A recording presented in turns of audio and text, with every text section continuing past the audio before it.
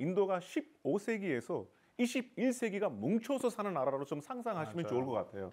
이렇게 작은 마을에 가면은 아직도 전기가 안 들어오고 인터넷이 안 되는 마을들이 꽤 많아요. 그러니까 그런 곳에는 아직까지 생활 패턴이 옛날식이라서 되게 보수적이에요. 계급도 많이 따지고 하다 보니까 그 이런 말에 되게 계급 낮은 사람이 계급 높은 사람의 여자랑 바람 피우게 돼서 도망가는데 이제 그 마을에 있는 이장님 같은 사람들은 높은 사람들은 그 남자의 누나와 여동생에게 얘네들이 이 높은 가족의 남자들랑 같이 잠을 자야 된다라는 처벌을 내린 거예요.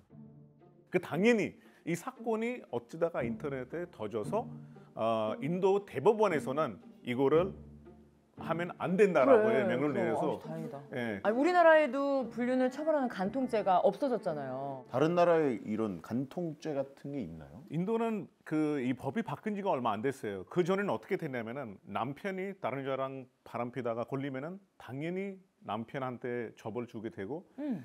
와이프가 다른 남자랑 바람 피우게 걸리면은 당연히 다른 남자가 처벌 받게 됐어요. 그러니까 어떤 말이냐면은 여자한테는 불륜 법이 이게 실행되지 않은 법이 있었어요. 그러니까 모든 처벌이 남자한테만 가야 된다고 해서 이게 또 약간 성별 자별이다. 보니까 2017년부터 이게 토론 시작해서 2019년에 이 법이 이제 없어버렸어요. 진짜 최근이네, 최근이다. 네, 최근. 진짜. 얼마 안 됐네.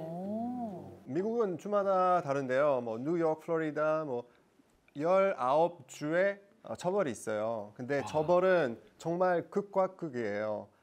만 원부터 그러니까 걸리면 만 원 내면 돼요. 아니, 만 원은 뭐야? 걸렸네. 만 원은 내고도 좀 별로일 것 같은데. 교통딱지보다 싼 거 아니야? 추첨이 추첨이. 실제로 뭐 그, 지- 그 법이 어, 없어지고 있어요 천천히.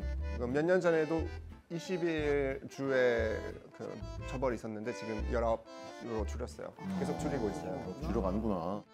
모로코는 어때요? 우리는 만약에 불륜으로 걸리면 1년에서 2년까지 감옥을 가- 가요. 최소 그런데- 1년? 최소 1년? wow. 어, 그런데 만약에 이제 걸려서 이제 감옥을 갔을 때 와이프가 용서해주면 바로 나갈 수 있어요. 바로 나갈 수 있어요. 아, 용서를 해주고. 네, 용서를 해주면 바로 나갈 수 있어요. 그때가 화나서 신고를 했고 나중에 후회하니까 용서를 해주는 거죠. 처벌 안 한다고 뭐 이게 그냥 괜찮은 거라고 하는 게 아니요, 아니니까. 아닙니다.